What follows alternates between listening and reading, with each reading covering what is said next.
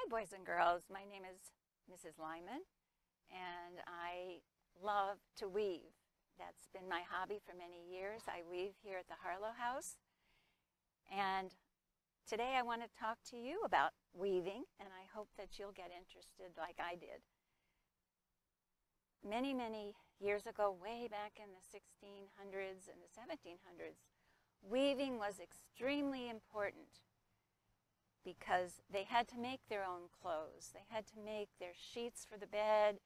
Um, they had to make uh, blankets, curtains. It was very, very important for their survival. And so they would grow flax to make linen fiber to weave for lighter clothing in the summer. And then they would, uh, they would raise sheep and shear the sheep for the wool, and then they could make much warmer clothing. Uh, today, a lot of weaving is done with cotton, and when you get your kit, you'll probably have a, balls of cotton to weave. They didn't have cotton back then. Uh, the cotton gin hadn't been invented yet, and cotton was only grown in the South. But you're going to receive in your kit a little cardboard loom. Um, there are many, many, many different kinds of looms, but they all do the same thing. They raise and lower threads.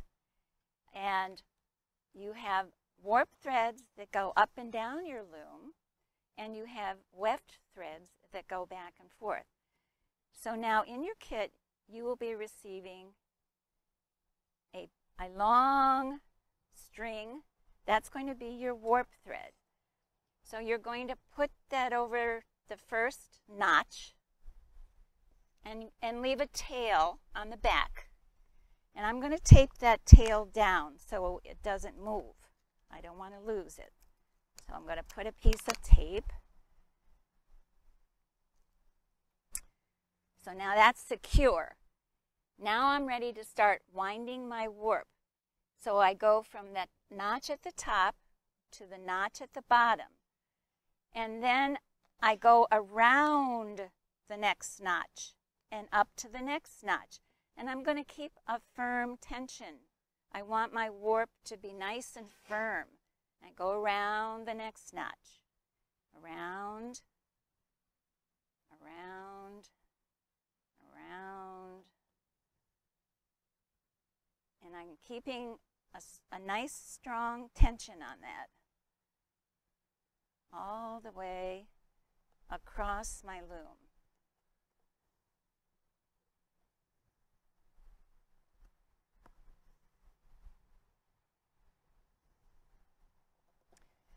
All right, I got to the last bottom notch, and I've got another tail that I'm going to tape down on this end.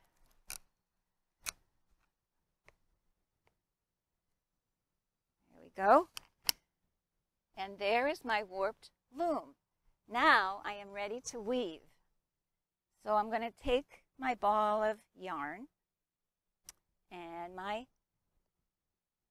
needle, which has a, a, a, large eye in it. So my yarn will go through the eye of the needle. If it's thicker yarn, sometimes it's a little hard to get through that eye. There we go. Okay. So now my arm is about 29 inches long. Your arm is going to be about the right length because about a two foot piece of yarn is a good measure to start with, 24 inches. So you're going to do about a yarn, uh, an arm's length. Take your scissors, cut that. I'm ready to weave. Now, I can either start the first, I'm going to start on the right hand side. Um, if you're left handed, you might feel more comfortable starting from the left side. I'm right handed and I'm going to start from the right.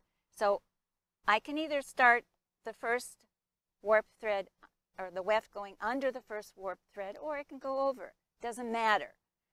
So I'm going to go over, under, over, under, over, these you might have to pick up because if, if you did a nice firm warp, you might have to pick up a piece. I'm going to kind of pull that a little bit. And I'm going to go continue. Okay, this, this was going under, so now the next thread I'm going to go over, under, over, under, over, under, over, under, over. Okay. Now, I want to leave a nice tail over here. And I'm going to push that yarn up to about a quarter to a half inch from the top. Okay. There we go. And you notice that my thread is, it came over the last warp thread, my weft, came over, it's coming over. So I have to be sure that my next row goes under, the opposite of what it's doing there. So under, over, under, over, under, over,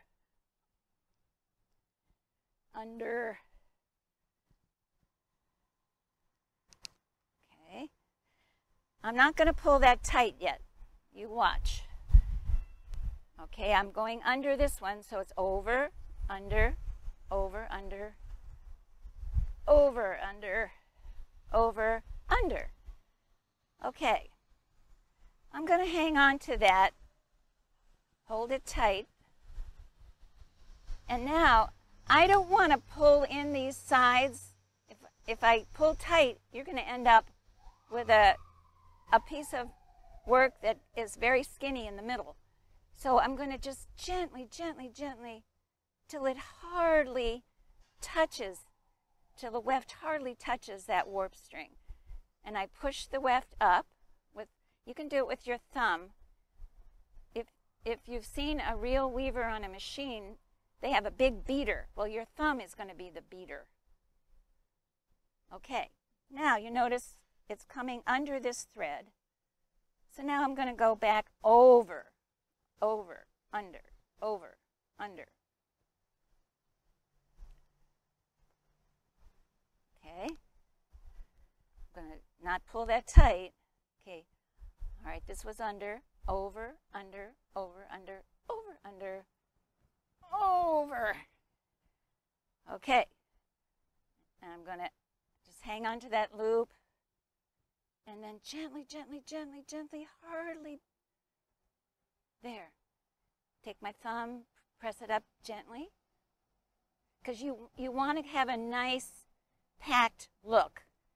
You don't want to have a lot of spaces. Okay. All right. I think I can make one more round. So I'm going to go, again, it's going over. So under, over, under, over, under, over, under, over.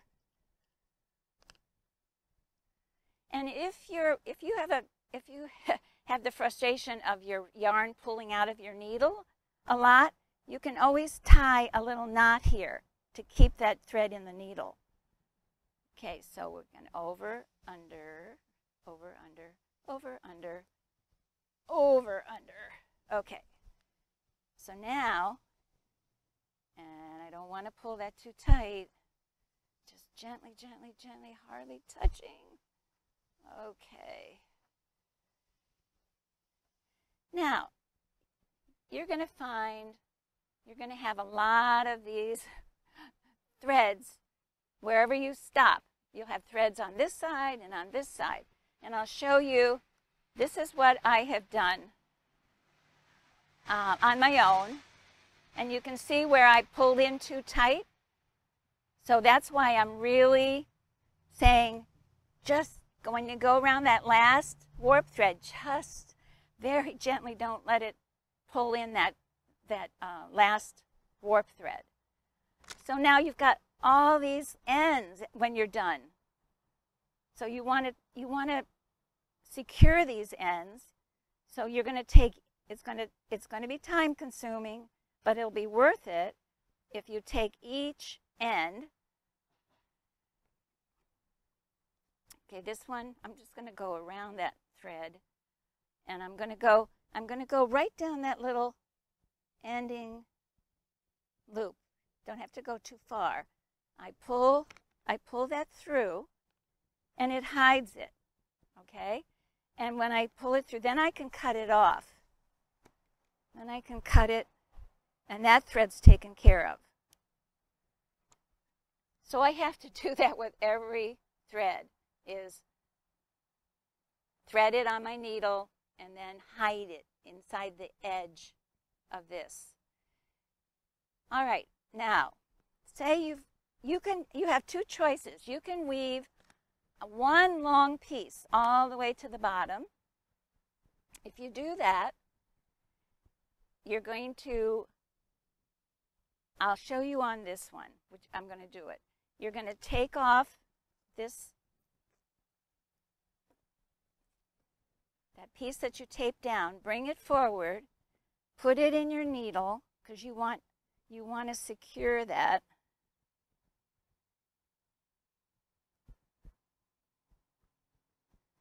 Okay. Are you in there? Yeah.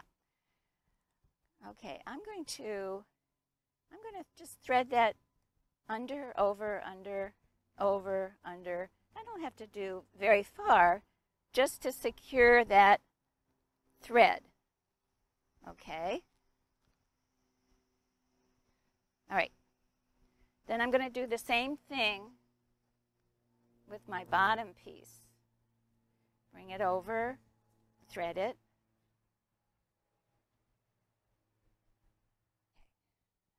Better. Again, just thread it so that you secure it. All right.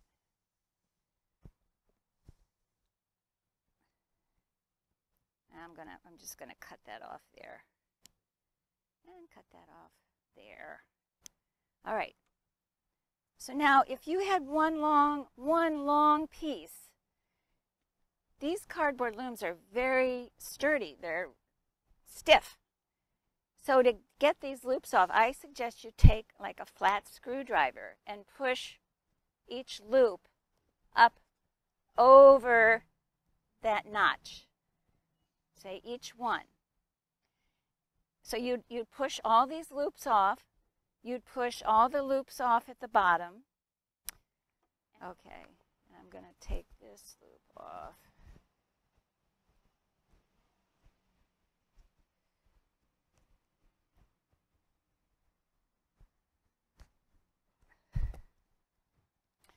Okay, so then I would pull each one of these white loops it's going to pull the warp from the bottom. It's, going to pull that loop flush with, with your weaving. And then at the, the very end, you're going to cut that loop and you're going to tie knots across. But because I made two, what I thought would be fun to do would be to make two like mug rugs or coasters. Could do that for mom. Um, I can, if you do that, you would weave down like I did, halfway, turn your, your loom, weave down halfway, but leave a good, good inch in between. So now I'm going to cut that space in between.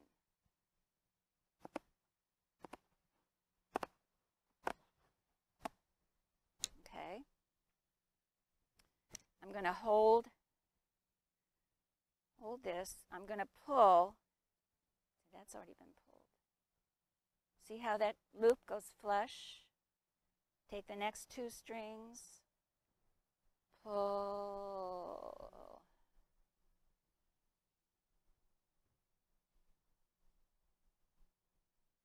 Next two. Pull.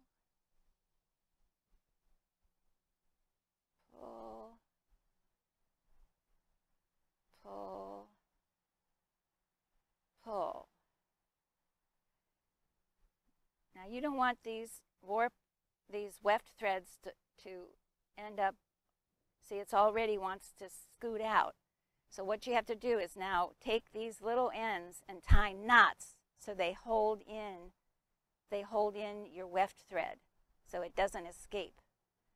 So you would go across and tie little knots to, to each of the threads. So, let's see if this one works a little bit better.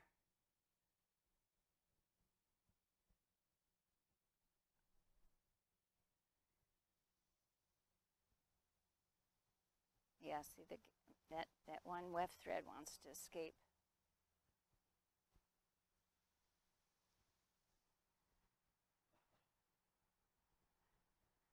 So maybe, maybe you need to leave more, a little bit more than an inch in the middle. So you, these are longer to tie knots because they're kind of short. So I hope you have lots and lots of fun with this. And you can be very creative because we're going to put different yarns in your kit. And you can make designs and stripes and different colors. So have a wonderful time. I can't wait to see some of your finished products.